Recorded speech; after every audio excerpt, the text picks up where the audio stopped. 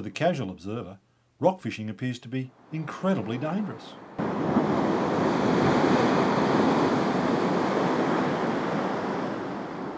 And in some ways, the statistics back this up. I mean, every year, Sunday fishermen are washed off the rocks to their deaths. And of course, you have to ask yourself just what is it that attracts people to risk life and limb just for a feed of fish? Now, this article, published in 1905 in the Sydney Morning Herald, goes some way to describing the attraction of rock fishing. But as well as that, it gives us a bit of an insight into our changing attitude towards danger. Everyone is known to his sorrow some bream enthusiast. He drags one into an alley, away from the ebb and flow of the city traffic. The fish are biting, he says with a husky undertone. At. And here his voice falls to a whisper, and he glances around uneasily. Middle Harbour. But the blackfisher disposes with all this cheap melodrama to stand with the water of mid July up to one's knees and splashing upon one's chest, hour after hour, requires a certain kind of pluck which is not found in all men. And as many of the rocks are slippery with sea scum and weed, there is always the chance that your name will figure in the morning papers. Drowned at. But the exhilaration of danger only adds the last touch of fascination to the sport of blackfishing. Now, in order to really understand what the allure of these wave soaked rocks is all about, we have to really look at the culture of just one fish. Now, of course, many different types of fish are caught off the rock ledges, but there's one fish in particular that is synonymous with rock fishing and the attraction of rock fishing. Hello, my name's John Morell, and I want to tell you the story of the humble blackfish. Now, you might think to yourself, blackfish? That doesn't sound very interesting. But this is a fascinating story, and it takes us all the way back to the streams of 1860s Britain, right through the colonial days, through the Depression, and into the future. Now the blackfish is an ocean fish, predominantly found along the east coast of Australia from southern Queensland right down into Tasmania, but it's also found in South Australia and Western Australia. But it's most common on the east coast between say Queensland and Gippsland in Victoria. Now for me the blackfish story doesn't start on the coast. The first time I ever went fishing, my father, Ted Morell, took me fishing on the aptly named Fish River. Now, I'll never forget that experience. We were crossing these dry brown paddocks and suddenly we were in this magnificent river environment.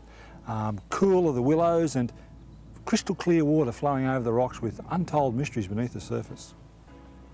And that morning with my dad's help I caught two rainbow trout. And of course I was hooked for life.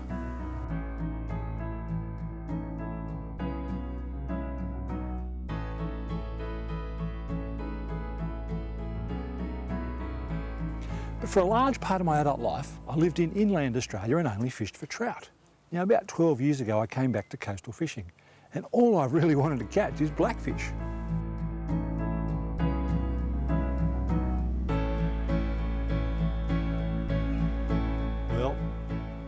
This is looking perfect today. We've just got some nice wash coming over these rocks here, and my guess is there'll be a few nice fish sitting in that murky water right there. Out here, as I look, I can see hundreds of blackfish just curling in the waves and washing off the rocks. So, let's see how we go.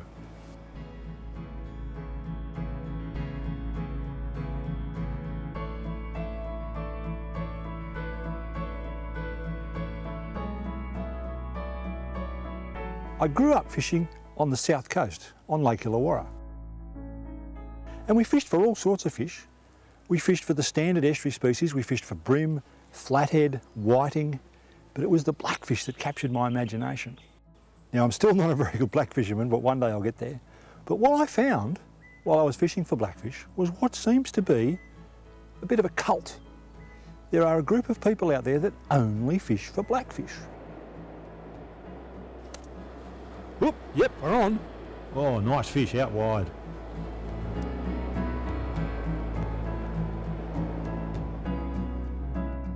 Now sure, there are other fish that have a dedicated angling following, such as trout. But blackfish is unique on the east coast in that it's one of those rare coastal fish that attracts a cult-like following.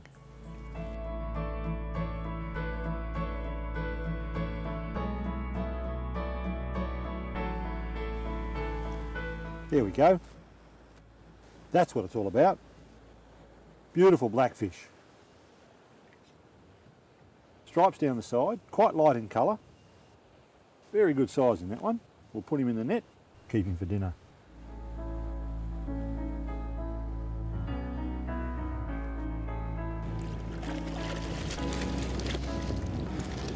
Best looked after in the keeper net. Keep them nice and fresh, and if you don't want to take them home, put them back in the ocean. So I thought to myself, what is this all about? What is it about the blackfish that attracts such passion? So I thought I'd go on a bit of a journey and find out. And along the way, I talked to some of these people that were passionate about their blackfishing. And the story that emerged was far more than just a story about a fish. This story took me to the coarse streams, the roach streams of England in the 1860s. And it took me to Captain Cook in the early days of the Sydney Cove, um, where without fish, survival would have been very difficult. And it's taken me through the hardship of the Depression. But as well as that, it's exposed me to the incredibly strong bonds that exist between predominantly fathers and sons and the importance of mentoring in modern society. So this is the journey I took and these are the people I met. I hope you enjoy it and I hope it answers the question of what it is about the blackfish.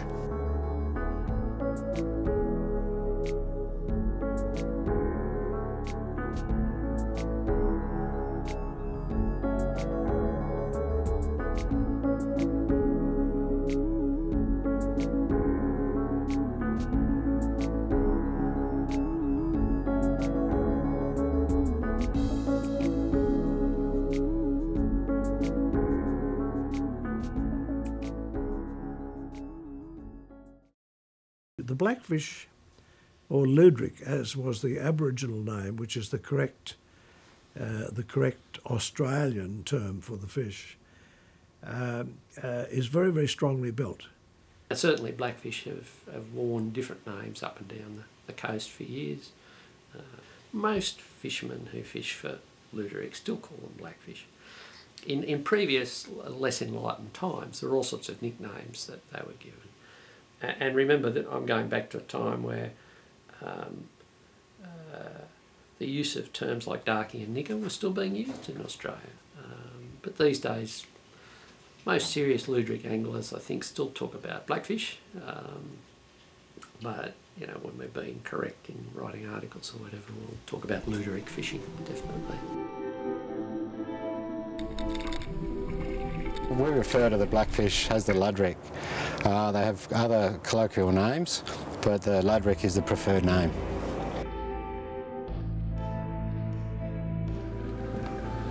Now, it's the flash of genius that's got me intrigued. That's that light bulb moment when there's a whole new invention. And I've become fascinated with just what that moment was with the blackfish.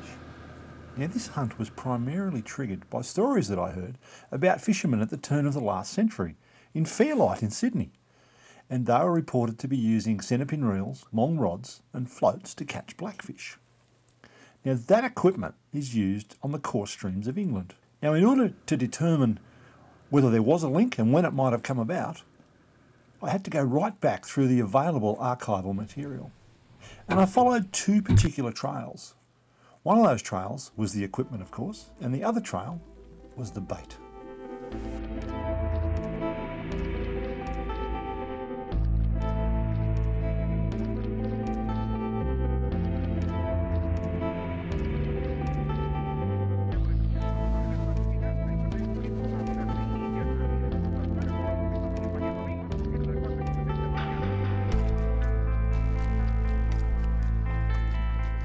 Equipment I'm using here today, centerpin reel, long rod, float and greenweed. Now this equipment, and this is the really interesting part, this equipment can be traced right back to the coarse streams of England in the 1800s. Well, in the early days, uh, we were dependent on, on wooden reels, which came from England. And we followed the English tradition of using what they called the Nottingham reel, because this, this reel was invented in Nottinghamshire by a man by the name called Slater. Now this form of fishing split off from fly fishing in the 1800s. Now there was one figure in particular that was really instrumental in the development of this, of, of the use of this type of equipment, commonly known as roach fishing or coarse fishing in England. And his name was J.W. Martin. Now, he wrote a book called The Nottingham Style of Float Fishing and Spinning. Now, he went out of his way to introduce working class people to this style of fishing because he claimed in his book that he himself was a working class man. And one of the big things that inhibited people's development in fishing back in that era was the fact that they not only couldn't afford the equipment, but they couldn't afford the books. They couldn't afford to learn how to fish. So J.W. Martin, in his seminal work, made sure that people had access to information. And the practice of using porcupine quills as floats came to us from English tradition, where they were used on, on English river fishing, and they, that I believe is how this system started in Australia, by English expatriates bringing out uh, some of their English river fishing gear and trying it for blackfish. Now, if we go back further than J.W. Martin, there was a chap called W.B. Lord. Now, this is very interesting. Bear with me here. Now, he was a veterinary surgeon that served in the Crimean War. Now, when he came back from that war, he wrote quite a few books. And one of those books was called Sea Fish and How to Catch Them. Now, what he talked about in that book was a fish called the grey mullet. Now, mullet and blackfish have a lot in common. And most particularly, they've both been, always been a very affordable fish. But there's another thing that they have in common too, which a lot of people don't know about. What W.B. Lord said about the grey mullet was that they floated around in tidal estuaries and they ate greenweed, and that was the term he used. Greenweed, which grew on the rocks, which grew on the logs, which grew on the piers. And what he said was that you got this greenweed and you wrapped it two or three times around the hook and let the tail hang down which is exactly what we do today on the east coast of Australia.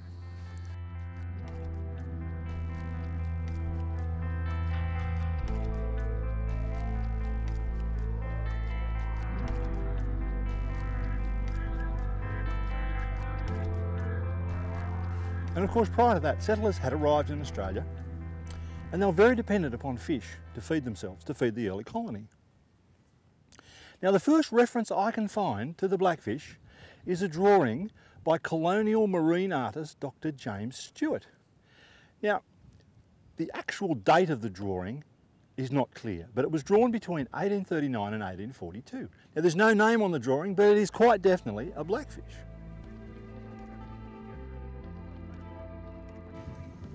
Now, it's no coincidence that the Reverend J.E. Tenison Woods in 1882 wrote a book called Fish and Fisheries of New South Wales.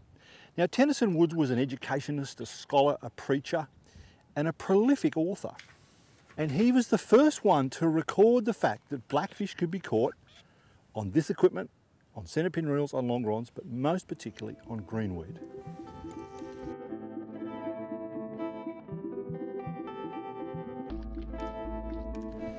This timeline is not evidence of anything, it's not proof of anything, but it's very compelling to think that somewhere in Sydney Harbour, Someone knew about the grey mole and the fact that they ate greenweed, and they saw the blackfish floating around in the tidal pools, eating the greenweed off the rocks and the logs. And they put two and two together and went, I might give that greenweed a bit of a go. And the rest, as they say, is history.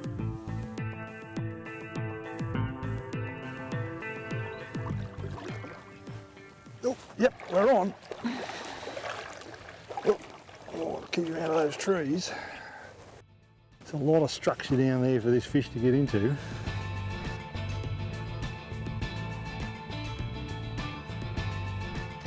Well, this is a good fish. These fish in this crystal clear water, fantastic blackfishing. They come out almost silver, silvery white.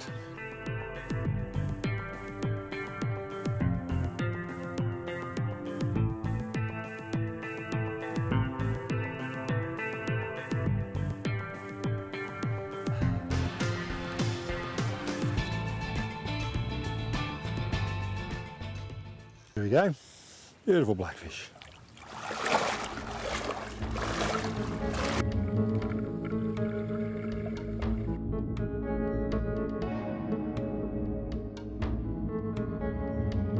very hard to describe, uh, you know, the exact reasons why you fish for blackfish and why you, why you, uh, you know, why you don't fish for, for all kinds of other fish. I mean, I have fished for other fish uh, at times.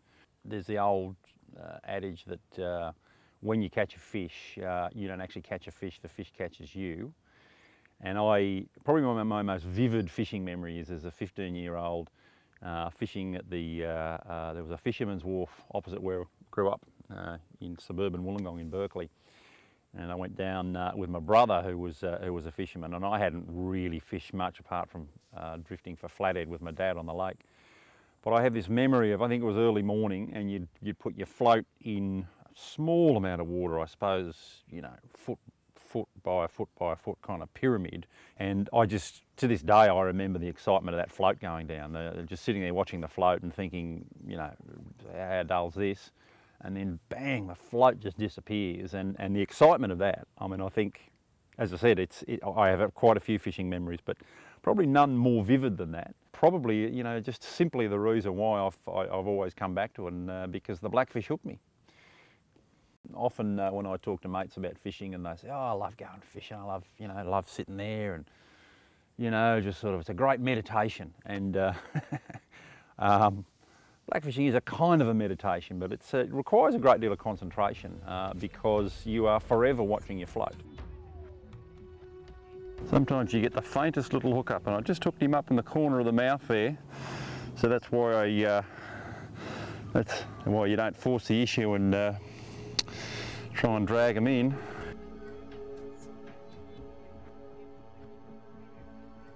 You know, the history of blackfishing is that it's a little bit like people's uh, veggie patch. Very much a working class tradition uh, that a bloke would always have uh, a, uh, a veggie patch so that you, the family would, if, if, if there was a meal on, um, it would be, you know, the duty to go out and get the greens from the veggie patch. You wouldn't buy greens, it was unheard of. And, in, in, and for someone who was a fisherman, you wouldn't buy fish either, completely unheard of. The ordinary bloke in the street was going off blackfishing, which he could do. He could, he, it, was his, it was an art, and he could do it. Um, at the same time, or much earlier, people in a different social strata, they, uh, they used to say that you could never find a barrister after about the 20th of December because they they'd all packed up their, their trout rods and were headed off down into the snowy. Blackfishing in its essence is similar to, uh, to dry or wet fly fishing for trout. And uh, it's rather interesting. I, I believe that to be true. I believe, for instance, the blackfish is a better fighter than a trout. A trout is a good aerialist, but he won't fight for the length of time that a blackfish will fight by any, any uh, degree.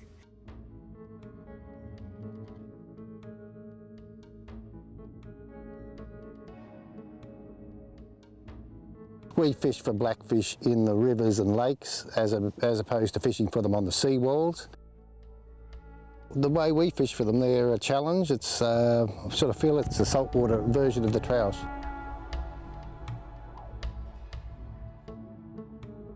With trout fishing, you're looking for lies where the trout will be holding, you know, in low pressure areas in streams, uh, and uh, try and put your fly or your nymph there. And that's very much like uh, it's a very similar situation here because the blackfish lie in the low pressure behind the weed and uh, where there's no effort for them to stay and then they'll dart out and take the bait and then move back into the low pressures again.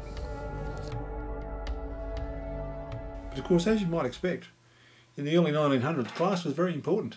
And this comparison, which was made between blackfishing and trout fishing right back into the 1800s, was vehemently denied in the Sydney Morning Herald. On the 8th of November 1911, there's an article about this very issue. Estuary blackbrimmers and fine liners for blackfish need not waste time instituting comparisons between their forms of the sport and fly fishing for trout. These branches of angling are as wide apart as golf is from cricket or football from lawn tennis.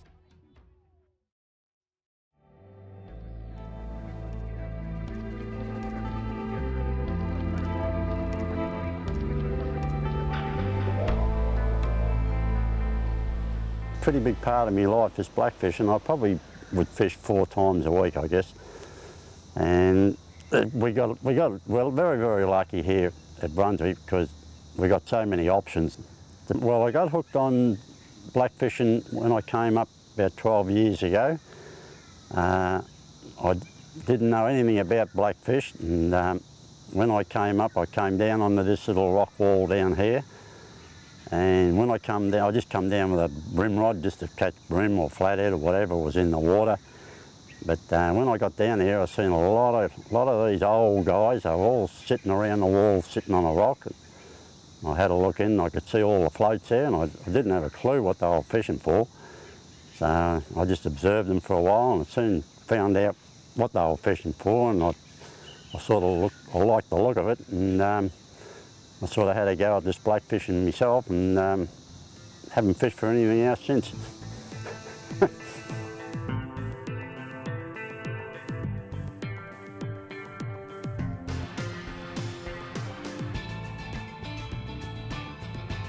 Fishing just a, it's just an unusual form of fishing. You know, it's, it's really, as you know, you, you use a float and you only use a float for basically catching mullet and uh, blackfish up here at Brunswick Heads. And oh, it's, it's just got into my system and I'm hooked on it. Two baits that we collect up here, the Brunswick River, is um, one called horsehair. We call it, the all the locals here call it horsehair. And the other one that grows on the rocks pretty well in the same area, you can either pick horsehair or you pick your cabbage.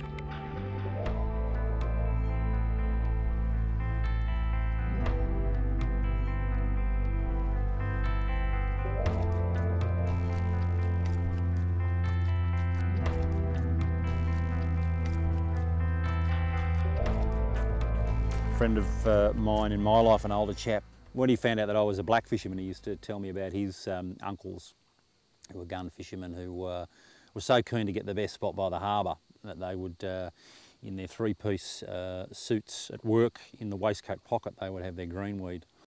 Even though they feed on greenweed predominantly, uh, almost exclusively. Um, the weed varies from place to place. Fishing up north, you'll find uh, the blokes up there swear by this weed that grows in the cane fields. There we are. Whoa, that's it. Now that is brilliant. It's obviously some uh, nutrient-rich weed that grows in the canals in between the, the sugarcane fields. what they call the Bondi Merc and the Malabar Merc and the Bluefish Merc were all pumping untreated sewage straight into the water off the coast. Weed and cabbage and all those species of, of, uh, of algae just proliferated. You could pick bait anywhere. And it was all the phosphate. It's just like fertilising a field. In the 30s and 40s, enterprising entrepreneurs would sell green weed in the city. And in fact, the trams going from the Sydney CBD to Central Station would make an unscheduled stop in the Haymarket so that the blackfish fishermen could hop off, buy their weed, and hop back on again. And in the Depression, uh, your, the blackfish weed was bought at the fish shop. Green weed was gathered in Botany Bay and it was sent by rail all over the uh, north coast. You know there's two main types of bait. There's the cabbage, which you get off the rocks, and there's the greenweed, which is much harder to come by. And there are days when the blackfish will only take the greenweed. And of course, to find the greenweed, you've got to know someone because to the black fisherman, it's a bit of a secret. In fact, greenweed can be sometimes like gold. One of the places that the greenweed grows incredibly well is these phosphate-rich prawn farms on the north coast. But unlike the 1930s when the greenweed was shipped from Parramatta and Botany Bay all up and down the coast, it's actually the reverse. So now what you find that the local fishing tackle shops will send the green weed from here, possibly as far as Sydney, but from here to various destinations up and down the coast. We Send a lot um, into Queensland, southern Queensland and northern New South Wales. But Most guys reckon they can keep it to probably four weeks. But once you- once you get infected with the bug, um, you really do uh, you really do salivate over a good bit of greenweed. It's amazing. Uh, sometimes it's uh, just as uh, thrilling to uh, find a good patch of weed as it is to, uh, to get into a serious, uh, serious patch of fish.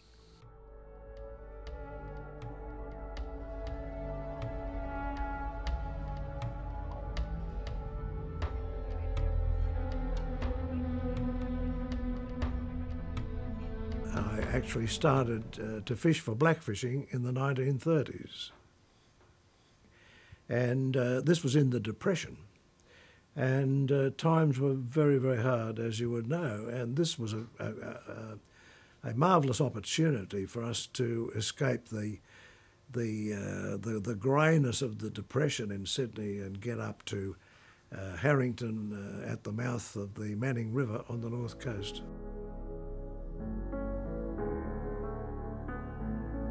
Blackfish always offered a way of getting a cheap feed. Uh, and through the Depression, when money was scarce, you could use very basic tackle, um, cheap little hooks, and you could make your sinkers out of sheet lead, um, and the bait was free. So it was a good way of feeding the family right through the Depression. Everybody at Watson's Bay owned a blackfish rod. A place where a lot of blackfish were caught out at the gap was a place where a lot of people jumped to their deaths in the desperation of those times. And I can remember passing queues outside Chatswood Town Hall, as I remember it. Each person would carry a billy, and they, in their turn, they would go to the head of the queue and receive a billy of soup and a, a piece of bread to take home to a family who definitely needed it. It was a very, very sad time, and uh, uh, men who were unemployed would go blackfishing uh, if they had a good bag, because of the fact that you couldn't keep fish for any length of time. You were very, very fortunate if you were a neighbour of one of these very good black fishermen, because there'd be two or three blackfish passed over the back fence, and they'd be very much appreciated.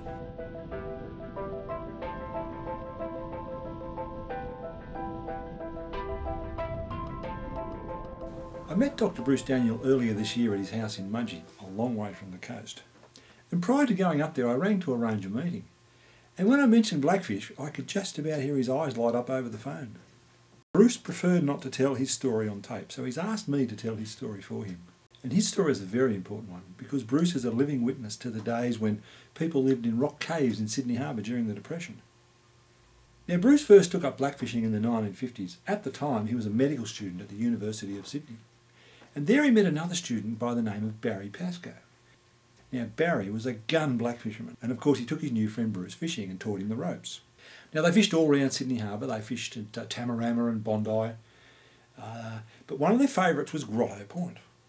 And it was at Grotto Point that Bruce recalls meeting a chap by the name of Hungry Bill.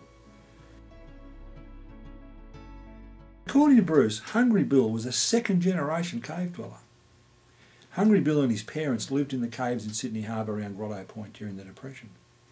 They caught fish and they sold fish, predominantly blackfish, to make a living. They'd go up to the streets, they'd go up to the corners, they'd go up to the pubs, the Manly pub in particular, and they'd sell their fish. And the working man would pick a fish for a couple of bob, take it home and cook it. Fresh fish, currency of the day plenty of people, some would be quite embarrassed eh, if I name them so I won't, who pay for uni fees and put themselves through courses and did all sorts of things by standing in pub corners and illegally selling blackfish for two bob or four bob each, depending on how big they were.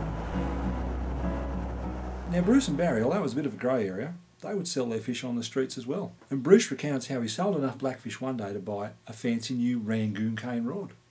And not long after that, he sold enough to buy the ultimate rod of the day, a split cane rod. Now Bruce recounts how Hungry Bill had the touch. He was a gun black fisherman, and like all good fishermen, Hungry Bill had secrets. He would never let you see how he put his bait on. He would never let you see his rig. He would walk around the corner and fish a different rock if the fish were biting just to make sure no one picked up on any of his secrets. And of course, this is understandable. If you lived during the Depression and your survival depended upon your skills. You weren't going to tell other people how to go about it. And sadly, Barry Pascoe passed away quite early. But John Brown has a very interesting story to tell about Barry's passion for blackfishing. One of my blackfishing friends, who happened to be a doctor, was so enamoured of his reel, which he used over very, very many years, that uh, when he passed away, sadly, uh, fairly early in life, they put it in his coffin as a last gesture, and uh, which is a, fair indication of the degree of passion that people can uh, can apply to this particular sport. But of course, Bruce, who is now 88, is still blackfishing, and I recently caught up with him and a friend, Peter Kentwell, down at Wonboyn. And they were standing on the rocks, a little shaky on their pins, but with all the skills they'd learned half a century ago, pulling in blackfish for dinner.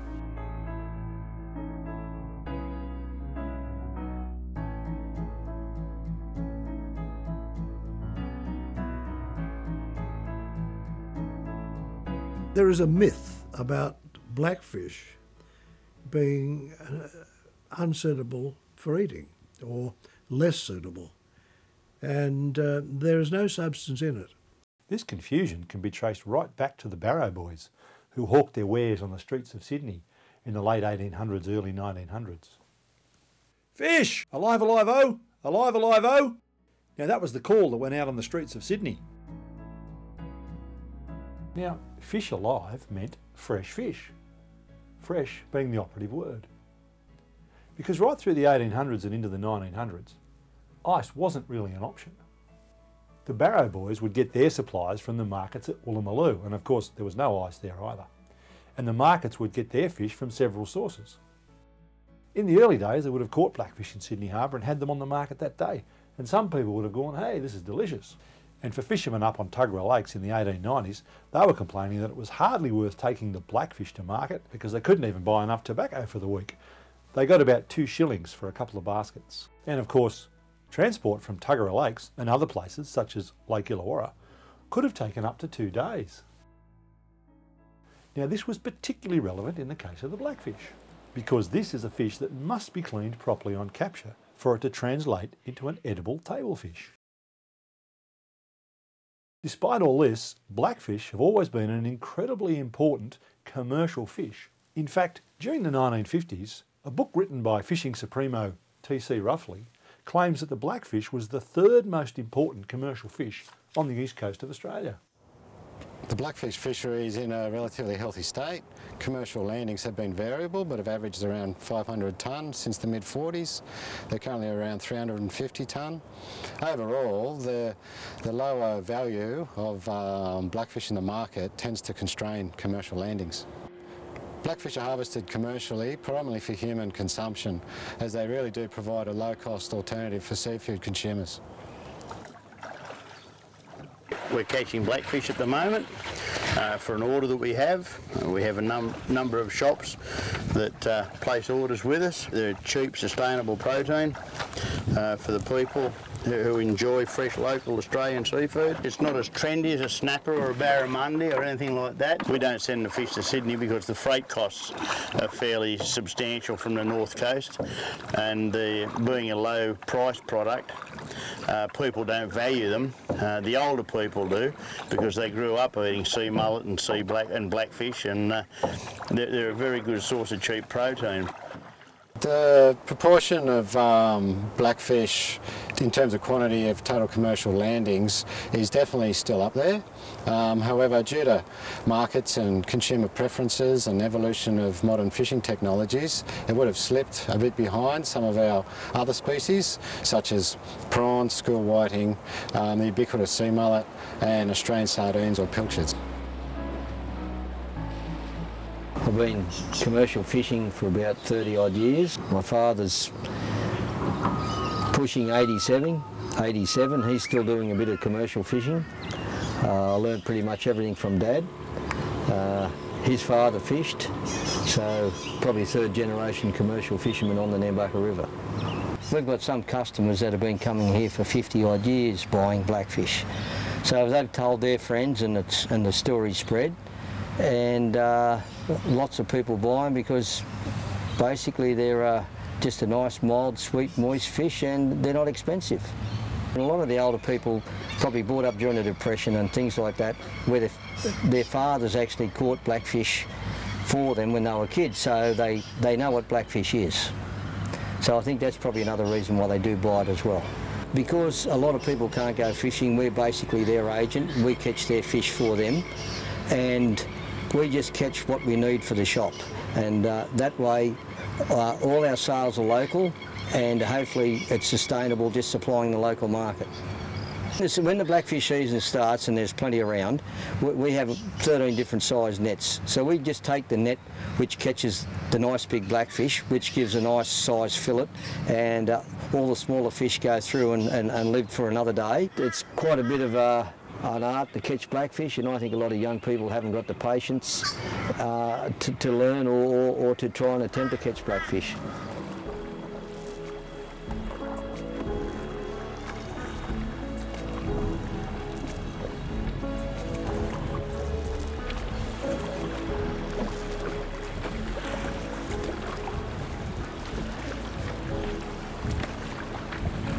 Bought some fish off Chris Davis and I caught a couple here this morning. Going to cook them up, compare the flavour. I reckon they'll both be pretty good.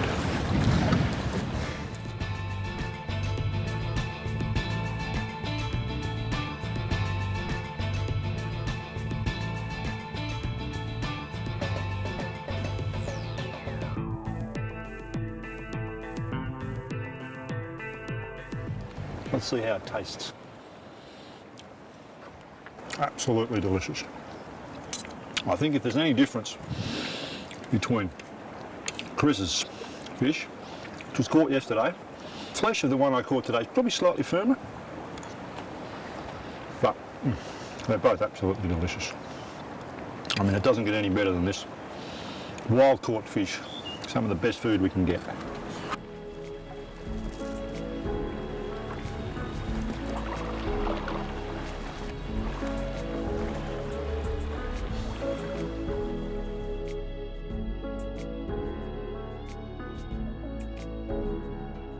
Now, when I think about the future of the blackfish fishery, there's one thing that comes to mind, and that's the fact that this fish schools up in very large numbers.